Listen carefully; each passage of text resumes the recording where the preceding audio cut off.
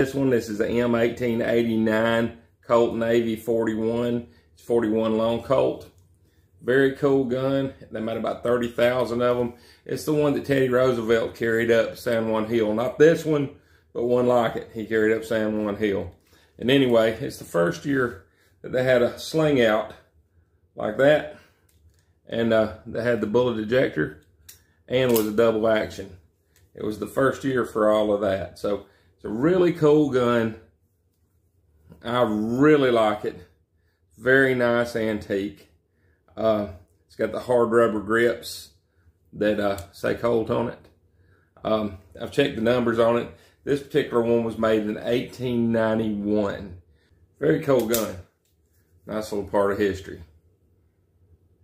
If you like this video, stay tuned. We got more antique Colt guns on shorts coming up.